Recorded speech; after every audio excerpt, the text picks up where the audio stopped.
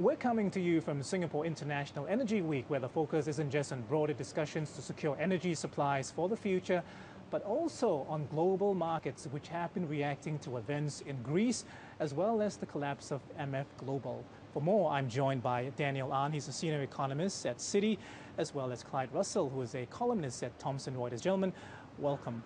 Uh, Daniel, let me start with you. I mean, uh, we're looking at uh, increased volatility. Give us give us a sense of the state of play in markets right now.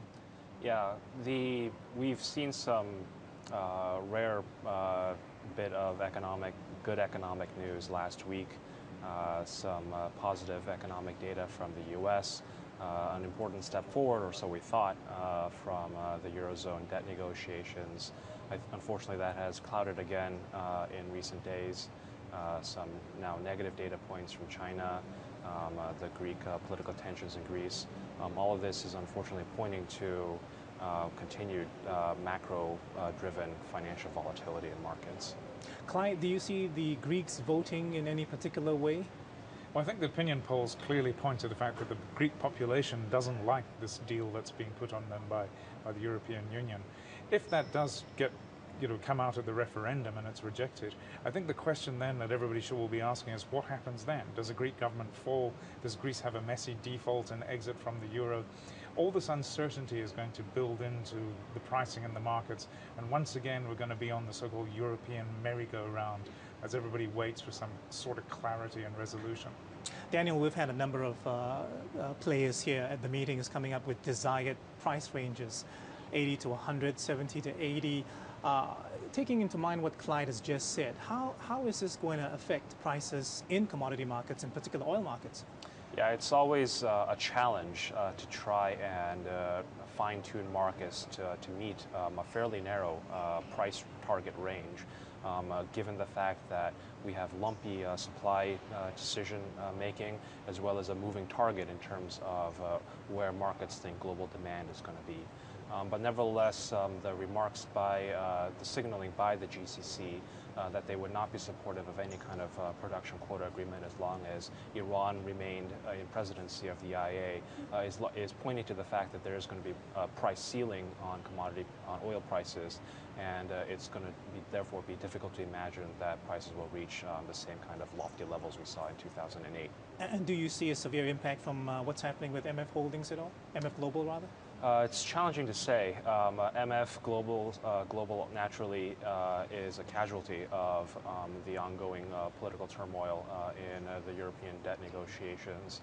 Um, that said, I think regulators are, even as we speak, poring over the degree to which um, MF Global was leveraged up. and therefore, how much systemic risk can enter into markets um, given, given their failure. Daniel, I just want to pick up on the fact that you, you also sit in the Council of Foreign Relations, and one area which you've been looking very closely at is the issue of regulation uh, for commodity-based uh, instruments. Where are we right now? At one time, this was really high on top of the agenda. It's, it's sort of disappeared. Yeah, um, I wouldn't say it's completely disappeared. Uh, the CFTC has recently made some steps in terms of uh, tightening uh, margin and capital requirements, introducing position limits. Uh, so it's still lurking in the background. In fact, um, President Sarkozy and uh, former Prime Minister Gordon Brown uh, had uh, uh, point, pointed to commodity financial regulation as being one of the key points on the agenda for the G20 meeting at Cannes. Um, that said, it seems now that uh, more uh, immediate issues um, uh, are competing for the attention of policymakers, and we'll see how much progress they make. Clyde, your, your thoughts on regulation, a good thing, a bad thing? I think it depends what you're trying to achieve. I think if the regulators want to eliminate volatility from the markets, then you know they might be going about it the wrong way. Or it's very difficult to eliminate that volatility, especially since we don't have great information on what's actually happening in the underlying physical supply and demand. I think if they're trying to uh, eliminate or reduce systemic risk from collapses like we saw with Lehman Brothers in 2008, then they might be getting closer to uh, achieving that. Daniel, closely linked to this uh, idea of regulation uh, is also transparency. I mean, can you take us through where your thoughts in, as far as, as, as, being transparent is concerned?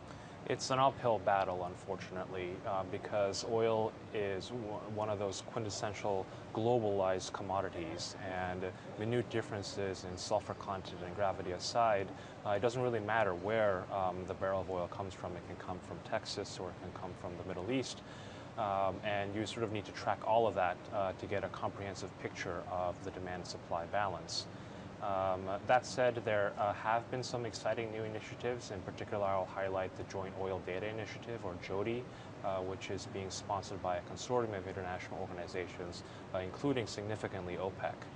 Um, that said, uh, given the fact that it is a globalized market, um, uh, providing good transparency and comprehensive transparency uh, to all the kind of dark areas of the world, uh, notably in the emerging markets as well as on the supply and the demand side as well as on the supply side.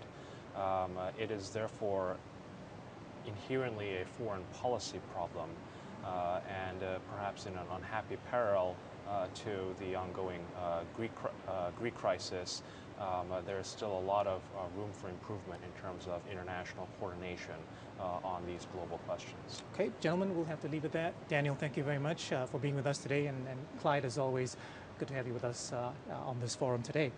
And that is our wrap of day three at the Singapore International Energy Week. I'm Adil Gay for Reuters.